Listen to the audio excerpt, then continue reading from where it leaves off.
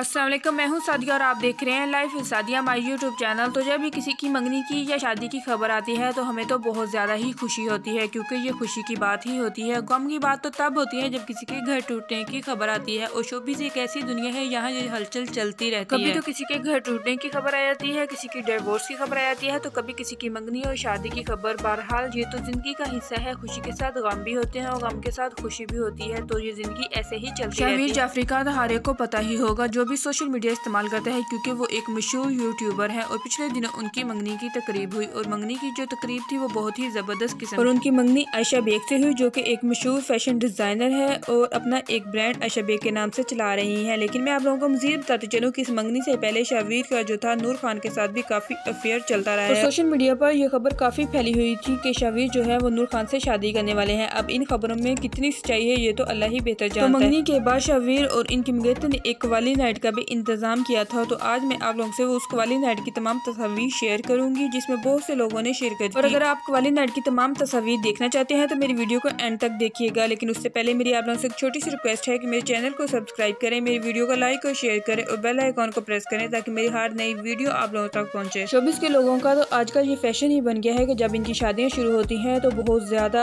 अरसा तक चलती हैं कई माह तक तो इनकी शादी के फंक्शन ही ख़त्म नहीं होते और अब इनकी मंगनी के बाद कवाली नाइट आई है तो कवाली नाइट के बाद इनकी शादी की तैयारियां शायद शुरू हो जाएंगी बात कर लेते हैं दोबारा से इनकी कवाली नाइट के बारे में तो अगर बात की जाए इनकी ड्रेसिंग की तो एक दफा फिर इन्होंने सेम ड्रेसिंग ही की थी और दोनों ही माशाला से बहुत ही प्यारे लग रहे थे और ये सब रिवाज जो है ये रस्में जो है ये सब पुरानी ही है लेकिन बस इनका अंदाज कुछ चेंज हो गया है जैसे की पहले जमाने में जब किसी की शादी होती थी या मंगनी होती थी तो मंगनी के बाद ढोलकी रखी जाती थी गाने गाए जाते थे और रिश्तेदारों को बुलाया जाता था रात में सब बैठ के गाने गाते थे और ढोलकी बजाते होते थे तो ये सब कुछ भी अब हो रहा है लेकिन अब ये नए अंदाज से हो रहा है अब इसे कवाली नाइट का या ढोलकी नाइट का नाम दे दिया जाता है अगर इनके कवाली नाइट के फंक्शन की बात की जाए तो फंक्शन बहुत ही अच्छा था और काफ़ी फैमिली के लोग ही बुलाए गए थे और कुछ जो थे वो यूट्यूबर उनके फैमिली फ्रेंड जो थे वो बुलाए गए थे तो ये थी मेरी आज की वीडियो उम्मीद करती हूँ की आप लोगों को पसंद आई होगी तो आप लोग भी अपने कमेंट्स में ज़रूर बताइएगा की आप लोगों को शबीर और आयशा की जोड़ी कैसी और ये की अपनी मंगनी के मौका पर और कवाली नाइट के मौका पर सेम ड्रेसिंग में ये दोनों आप लोगों को कैसे लगे तो आप लोगों